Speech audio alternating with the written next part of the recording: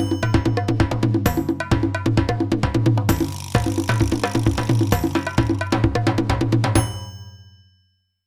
guys, it's Nadine. Welcome back to my channel. The next couple of days were spent going on game drives and resting in camp.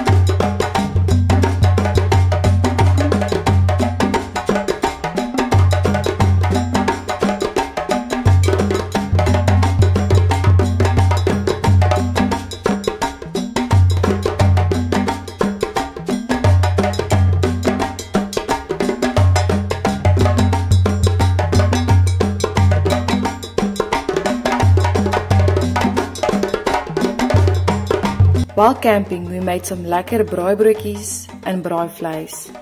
And one night we even made a potjie and had potjie brood with it.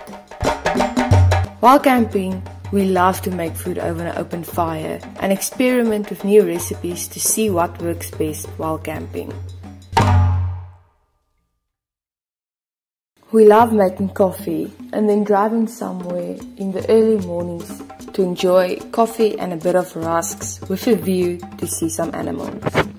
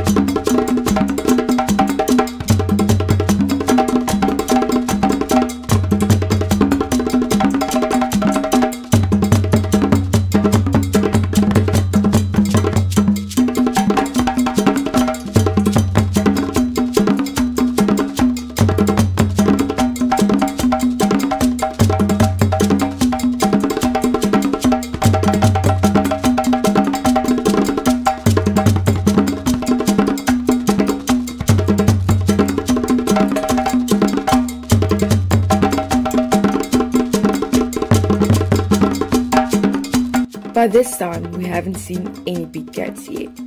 We heard the lion at night. We saw their paw prints and we knew they were there because other people saw them. We were still hoping for a great sighting. We were drawing close to the end of our trip and the build up to see a big cat was getting bigger and bigger.